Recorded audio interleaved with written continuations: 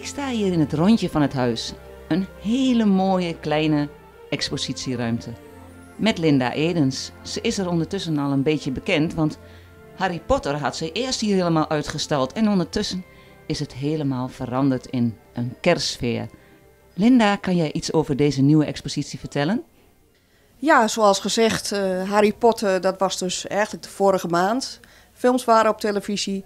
En um, we hadden hier een mooie expositie. Er zijn heel veel kinderen geweest en ouders die toch even kwamen kijken.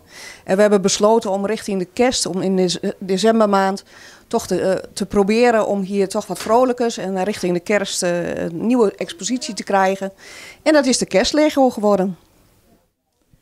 En wat kan je over deze ja, Lego-stukken vertellen? Ja, opnieuw zijn het uh, ja-stukken. Um, ik ben niet helemaal Lego-gek, maar Lego brengt ook voor de kerst gewoon ieder jaar een stuk uit.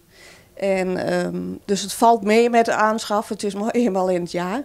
En als je dat gewoon gedurende jaren dat gewoon spaart, ja, dan krijg je toch een hele mooie collectie. Normaal staat hij dus thuis bij mij in de woonkamer.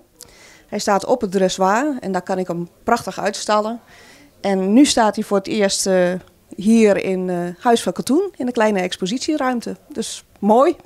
Ja, je bent heel blij mee dat je hem hier kan stallen. Maar je had wel stiekem gehoopt dat je net ietsjes meer ruimte zou hebben voor sommige stukken, hè? Ja, dat klopt. Thuis heb ik hem mooi staan met een mooi marktplein. En um, ja, dat kan niet vanwege de, de kleine ruimtes. Maar de stukken op zich komen prachtig uh, in zicht. En het, het, is allemaal gezellig. En ja, je, het is mooi. Het is echt kerstlego. En het mooiste stuk van dit jaar, dat is uh, het Elfenhuisje.